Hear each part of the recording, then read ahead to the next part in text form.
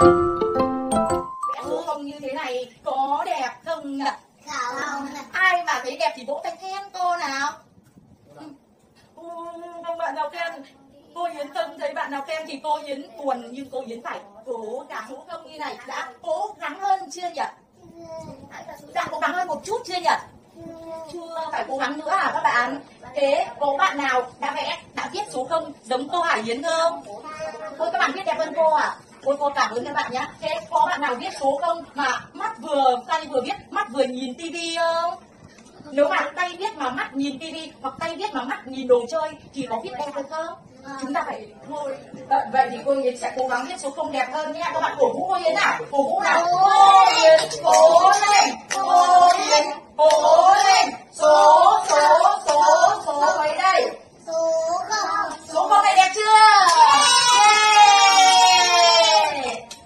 bây Yến lại tiếp tục viết số 1 các bạn sẽ chấm điểm cho cô Yến nha. Và cuộc thi bắt đầu. Chị chị chị cho cô Yến. Chị chị phải bắt tay nào bắt tay nào bắt cô Yến phải vẽ theo cái tay của chị.